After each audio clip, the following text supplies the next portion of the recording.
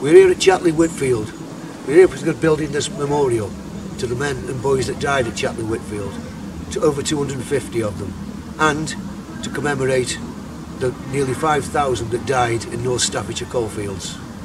This is here so we'll never forget them and to show our appreciation for their love, their hard work and their sacrifice.